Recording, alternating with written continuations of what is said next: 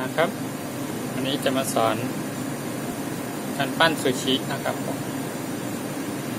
ข้างหนึ่งถือปลานะครับ ข้างหนึ่งถือข้าวพอดีมือพอดีคำนะครับผม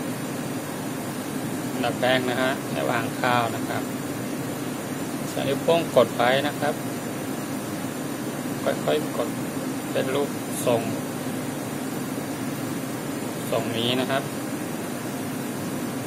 แล้วก็ทำมืออย่างนี้นะครับ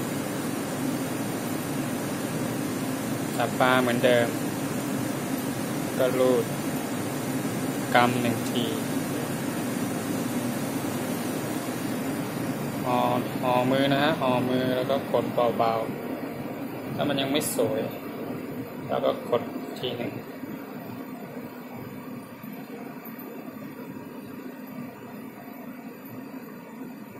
อ่า